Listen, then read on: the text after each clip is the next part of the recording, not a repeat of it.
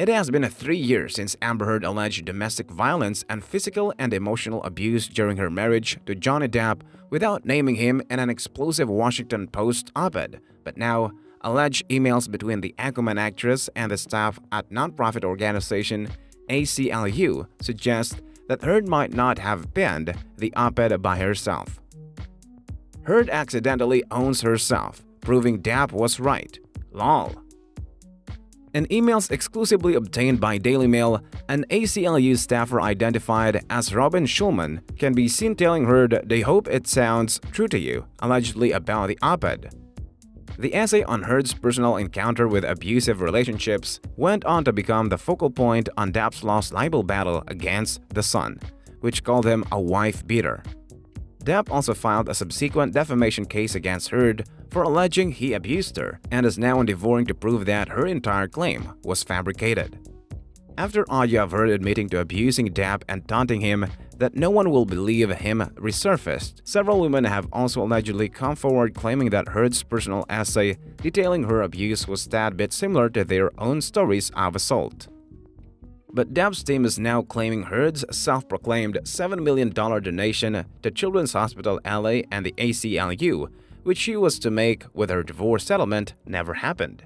Depp is currently suing the ACLU to show records of Heard's donation to find out whether she actually gave the money or her billionaire ex Elon Musk did. This comes after the Children's Hospital claimed that they never got their promised funds from Heard's end, and ACLU repeatedly refused to cooperate with subpoenas to show for Heard's supposed $3.5 million donation to them. Uncovered emails from the same investigation obtained by Daily Mail is proving to be quite incriminating for Heard's innocence in the case. After the ACLU appointed the actress as an ambassador on women's rights in 2018, one of their staffers was hit by the idea of having Heard write an essay from the perspective of a gender-based violence to hit back at new laws working against the protection of victims. If she feels comfortable, she can interweave her personal story saying how painful it is as a GBV survivor to witness these setbacks. ACLU can be seen mailing Heard's team, following it up with Would this be of interest? And if so, would you like for us to do the first draft? Might include a quick phone interview to get her thoughts, or would Amber prefer to start it off? The final output went on to be entitled, I spoke up against sexual violence and faced our culture's wrath. But if emails obtained by Daily Mail are legitimate, it was ACLU staffer Robin Schulman who penned the thing to capture Heard's fire and rage, in which he hoped sounds true to you, as written in an email to the actress. The essay then suffered the back and forth exchange as lawyers ensured Heard wasn't violating her NDA signed after divorcing Depp. Ultimately, Heard wrote back, everyone was very impressed. Thank you for finding my voice. Heard has also addressed allegations of her negligible input and the op-ed, noting in her legal filings that she wrote it with the assistance and advice of others, adding that the op-ed speaks for itself and does not leave her incriminated. Depp's lawyer Adam Waldman, however, believes otherwise. This new trove of emails finally proves one of the things the ACLU has fought for years to hide. They wrote Amber Heard's false op-ed for her and were co-conspirators with Ms. Heard from the start, he told the outlet, suggesting further legal action against ACLU. Those who scheme, write, and publish defamation, even purported free speech advocates, are not immune from the consequences, he shared. Johnny Depp has now moved to court to order ACLU, also known as American Civil Liberties Union, to show proof of Amber Heard's donation from her divorce settlement. It has been known that Heard had pledged to donate her 7 million US dollars divorce settlement to the ACLU and the Children's Hospital Los Angeles after her and Depp's divorce was made final. Previously, the mention of Heard's divorce settlement money had come up during Depp's UK libel case, where he claimed his ex-wife hadn't donated the sum. Previously, during the UK libel case, Heard's lawyer had presented the documents relating to her divorce settlement donation, which show the Aquaman star had gifted a total of 950,000 US dollars to the ACLU and 850,000 US dollars to the Children's Hospital through anonymous donors as reported by People.